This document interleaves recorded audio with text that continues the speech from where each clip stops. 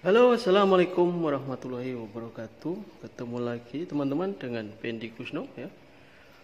Oke, di video kali ini kita akan memberikan tutorial tentang caranya menggulung terapung menggunakan dua kawat sekaligus ya. Oke, untuk yang baru bergabung dengan kami, ya silahkan tekan tombol subscribe dan aktifkan loncengnya agar teman-teman tidak ketinggalan update video terbaru dari kami. Ya. Oke, untuk kawat pertama kita juga harus eh, menandai begini ya. Ya, bisa hitam, bisa putih, ya.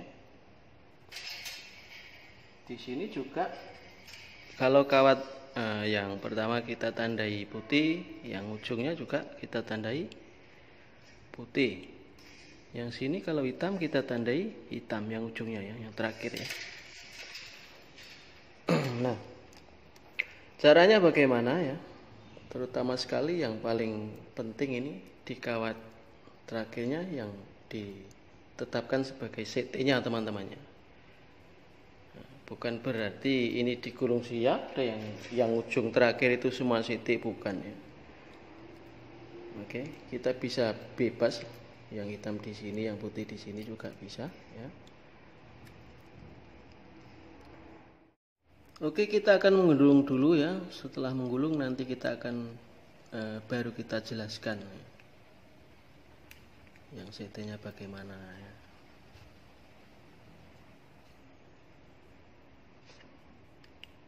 kita akan gulung dulu ya.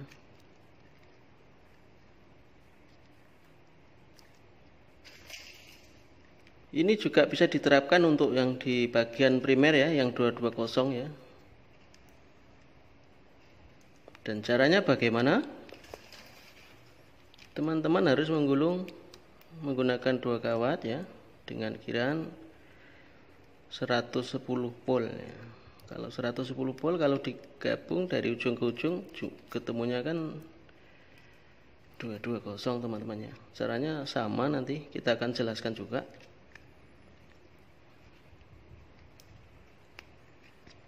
Misal, misalkan teman-teman sudah menentukan ini 50 volt ya. kok kawatnya masih banyak kokernya juga ruangnya masih ada ya teman-teman bisa lanjutkan ke 55 volt atau ke 65 volt ya bagaimana kalau belum sampai 50 volt kok kokernya sudah penuh. Ya dikurangi saja.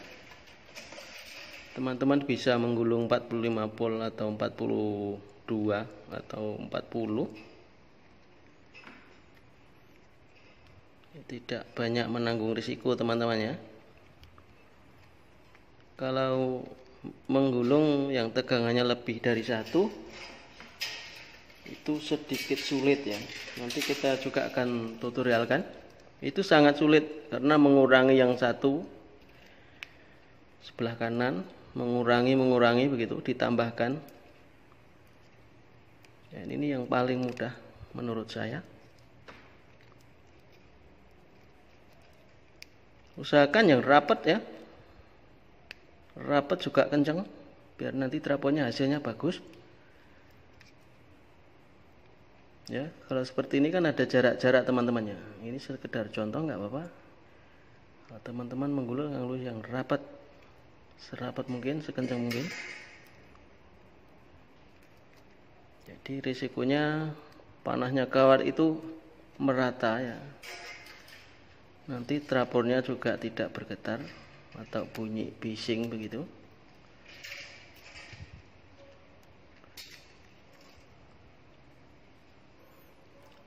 sebelum menggulung teman-teman juga harus menghitung dulu ini ya. Lebarnya ini kokernya juga panjangnya diameternya. Ada di video sebelumnya ya. Komplit saya sudah terangkan. Silahkan dicari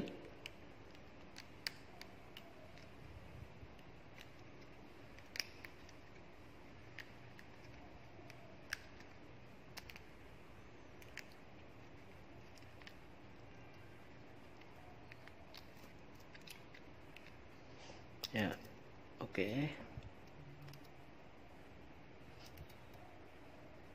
Nah, setelah itu baru teman-teman bisa membawa ini kawat pergi ke atas ya.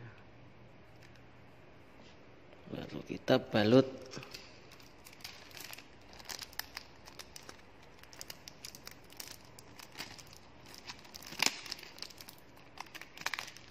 Bisa menggunakan kertas semen atau mika. Yang penting tahan panas.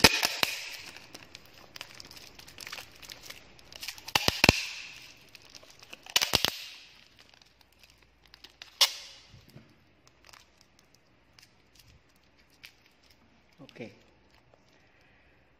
Yang perlu teman-teman fokuskan yaitu yang di bagian sini teman-teman ya. Oke. Ini kawat pertama ya. Ini juga kawat pertama yang bagian terakhir. Ini kawat pertama. Ini kawat pertama yang uh, ini kawat kedua maksud saya. Kawat kedua ujung pertama ini ujung terakhir ya. kita sudah tandai. Nah caranya bagaimana ya? Kita buat begini kawat pertama yang nomor dua ini ujung kawat pertama nomor dua kita taruh di tengah teman-teman ya. Ya begini. Dan ini kawat kedua di bagian ujungnya ya. Ini pasangannya ini ini pasangannya ini ya.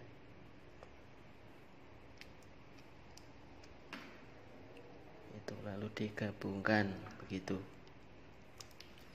ini ujung kawat pertama, ini ujung kawat kedua. Ya. Ini kawat terakhir, ya, daripada kawat yang nomor satu, dan ini ujung kawat terakhir yang dari kawat nomor dua. Ya. Jadi begitu caranya. Bagaimana kalau membuat CT-nya ini salah ya? Membuat CT-nya salah itu tegangannya tidak keluar teman-teman ya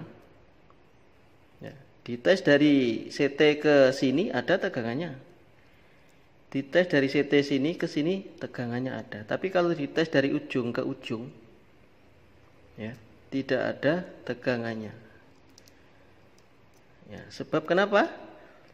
Sebab kalau ini ditaruh di tengah ya, kawat ujung terakhir dari uh, kawat kedua ini ya, ujung terakhir dari kawat kedua ini kalau ditaruh di tengah begini misalnya ya.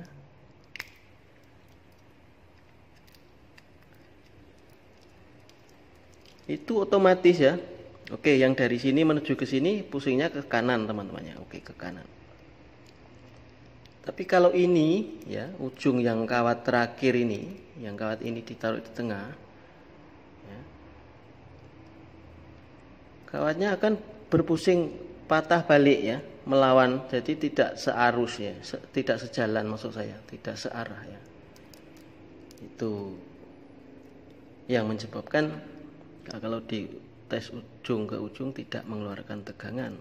Saya pun heran ya kenapa begitu? Saya juga tidak tahu. Tapi saya sudah pernah mengalaminya. Ya. Sudah pernah mengalaminya.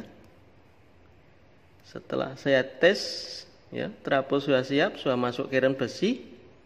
Ternyata dari ujung ke ujung tidak mengeluarkan tegangan hanya sebelah saja. Padahal dites dari CT ke sini ada tegangannya. Dari CT ke sini tegangannya ada ya. begitulah teman-teman ya. Jadi jangan sampai salah untuk membuat CT ini ya. bukan dua-dua yang di ujung itu dibuatkan eh, ditetapkan sebagai CT bukan ya untuk yang uh, untuk primer tadi yang 220 sama juga ya. Sama persis. Caranya sama ya. Cuma teman-teman menggulung uh, sebanyak 110 volt ya, 110 volt. Nah, sistemnya sama juga dibuat seperti CT begini. Yang tengah ya dari 0 110 kalau digabung jadikan seperti CT ini kan jadi keluarnya 220 begitu. Teman-temannya. Untuk yang lebih dari satu tegangan misalnya hmm, ada 40 eh, eh, ada 50 ada 42 ada 35 nah itu semakin sulit ya. Semakin sulit sebab mengurangkan menambahkan lilitannya ini. Uh, mungkin kalau ada kesempatan uh, saya akan uh, kasih juga tutorialnya bagaimana caranya jadi begitu. Oke cukup sekian dulu dari saya ya, tentang caranya menggulung dua kawat sekaligus. Paling inti CT menentukan CT teman-teman ya. Misalnya kalau ingin membuat ekstra uh, 12 15 atau 18 bagaimana ya, ya buat saja nggak apa-apa ya. jumlah lilitan juga sama kok ya ikut ikut yang sini tadi ya. kalau untuk yang ekstra ini teman-teman bisa menggunakan kawat yang lebih kecil sedikit ya untuk 12, 15, 18 nggak masalah bisa menggunakan kawat lebih kecil daripada yang ini ya. kecuali kalau ruang koker ini masih banyak ya teman-teman bisa menggunakan diameter kawat yang sama besarnya. Sudah paham teman-teman ya? Oke mungkin cukup sekian ya video tutorial dari saya. Ya, jumpa lagi di lain waktu dan assalamualaikum warahmatullahi wabarakatuh